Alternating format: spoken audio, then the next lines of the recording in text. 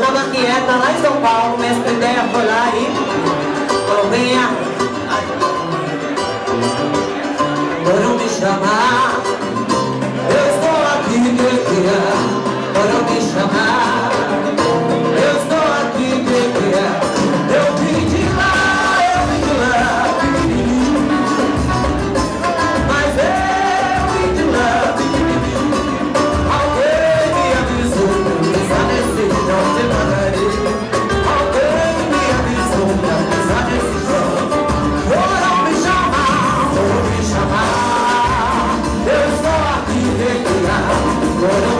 Ah.